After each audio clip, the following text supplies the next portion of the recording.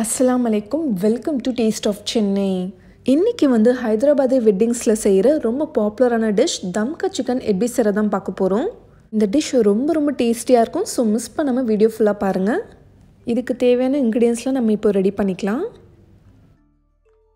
First நம்ம fried onions ready பண்ணிக்க போகிறோம் ஒரு மீடியம் சைஸ் ஆனியனை நல்லா இந்த மாதிரி ஸ்லைஸ் பண்ணி வச்சுக்கிட்டு இப்போ இதை நம்ம டீப் ஃப்ரை பண்ணி எடுத்துக்கலாம்.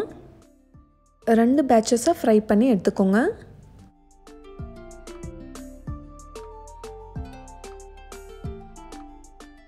இந்த மாதிரி கோல்டன் ப்ரௌன் வந்த உடனே எடுத்துருங்க. இதுக்கு மேலே நீங்கள் விட்டிங்கன்னா கருகிரும் அதுக்கப்புறம் கசக்கிற மாதிரி ஆயிரும். இப்போ இதை எடுத்து டிஷ்யூ பேப்பரில் போட்டுக்கலாம். இப்போ அடுத்த ஸ்டெப் வந்து கொஞ்சம் நட்ஸை நம்ம ட்ரை ரோஸ்ட் பண்ணி எடுத்துக்க போகிறோம் பத்து பாதாம் எடுத்திருக்கேன் பத்து முந்திரி பருப்பு எடுத்திருக்கேன் ரெண்டு டீஸ்பூன் சிரோஞ்சி. சிரோஞ்சி சீட்ஸ் இல்லைன்னா நீங்கள் ஸ்கிப் பண்ணிடலாம்.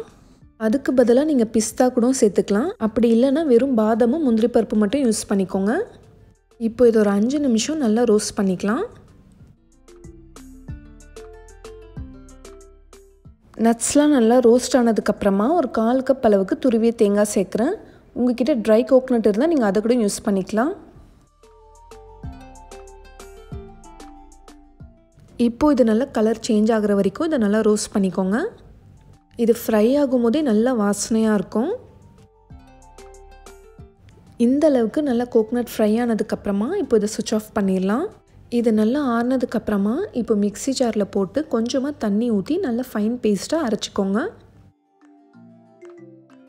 இப்போ நம்ம நட்ஸ் பேஸ்ட் ரெடி பண்ணிட்டோம். அடுத்தது வந்து ஒரு ஹாஃப் டீஸ்பூன் அளவுக்கு சேஃப்ரானு கால் கப் அளவுக்கு சூடான பால் ஊற்றி நல்லா இந்த மாதிரி மிக்ஸ் பண்ணி வச்சுக்கோங்க. இப்போ சேஃப்ரான் மில்க்கும் ரெடி பண்ணிட்டோம். ஜிஞ்சர் கார்லிக் பேஸ்ட் ஒரு ஒன்றரை டேபிள் ஸ்பூன் எடுத்திருக்கேன். அதுக்கப்புறம் ஒரு ஹாஃப் கப் அளவுக்கு தயிர் எடுத்திருக்கேன். ஒரு லெமனோட ஜூஸ் எடுத்திருக்கேன். அதுக்கப்புறமா ஒரு ஹாஃப் கப் அளவுக்கு புதினாவும் கொத்தமல்லி தழை எடுத்திருக்கேன். அதுக்கப்புறமா ஸ்பைஸ் பவுடர்ஸில் ஒரு ஹாஃப் டேபிள் ஸ்பூன் அளவுக்கு சில்லி பவுடர் எடுத்திருக்கேன். ஒரு கால் டீஸ்பூன் அளவுக்கு மஞ்சள் தூள் எடுத்திருக்கேன். ஒரே ஒரு டீஸ்பூன் கரம் மசாலா.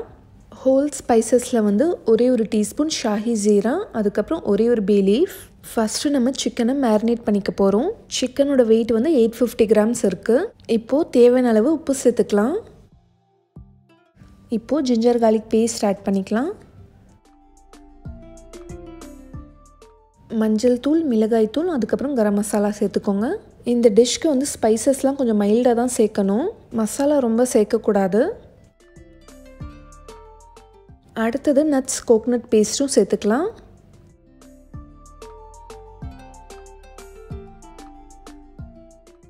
தயிரும் சேர்த்துக்கோங்க.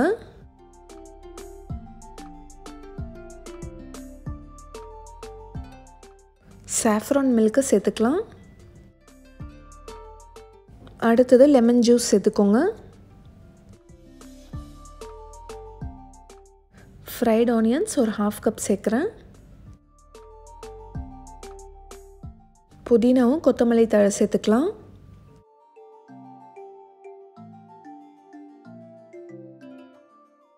நம்ம ஆனியன்ஸ் ஃப்ரை பண்ணோம் இல்லையா? அந்த ஆயிலேருந்து ஒரு நாலு டேபிள் ஸ்பூன் சேர்க்குறேன்.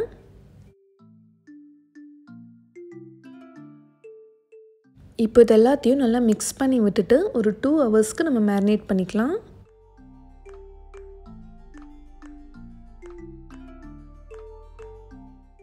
இப்போ பேனில் ஒரு டேபிள் ஸ்பூன் நெய் ஊற்றிக்கோங்க ஷாஹி ஜீராவும் பேலீஃப் சேர்த்துக்கலாம். இப்போ நம்ம மேரினேட் பண்ணி வச்சுருக்க சிக்கன் சேர்த்துக்கலாம்.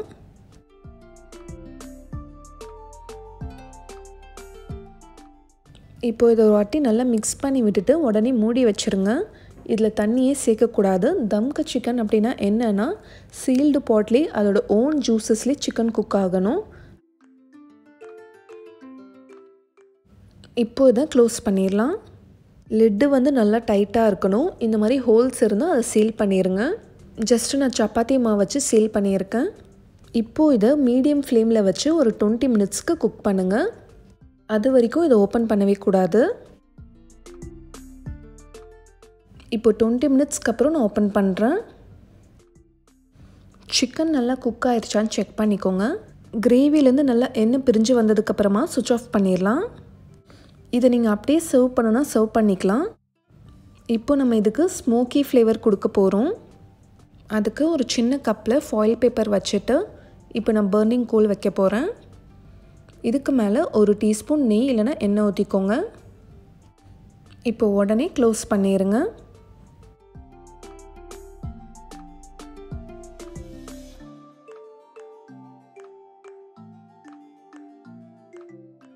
ஒரு ஃபைவ் மினிட்ஸ்க்கு அப்புறமா இப்போ நம்ம சர்வ் பண்ணிடலாம். இந்த கிரேவி வந்து கொஞ்சம் திக்காக தான் வைக்கணும். தனியாக வைக்கக்கூடாது. இது ரொம்ப ஈஸியான டிஷ் தான். யார் வேணால் ட்ரை பண்ணலாம். டேஸ்ட்டும் பார்த்திங்கன்னா ரொம்ப டிஃப்ரெண்ட்டாக ரொம்ப நல்லாயிருக்கும் யாராச்சும் கெஸ்ட்டு வந்தால் கூட இந்த மாதிரி செஞ்சு வைங்க.